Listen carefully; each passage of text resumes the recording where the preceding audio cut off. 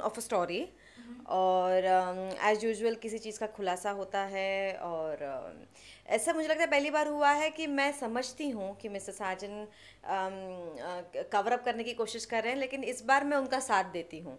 ना कि उनका मैं पर्दाफाश करती हूँ। तो वो साथ क्यों देती हूँ वो मैं उनसे एंड में कहती हूँ कि आइए कल ऑफ़िस में तो बात करेंगे।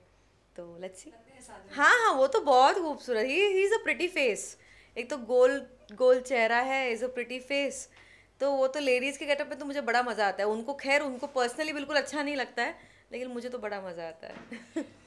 You have to see the show for it I don't know thank you so much thank you thank you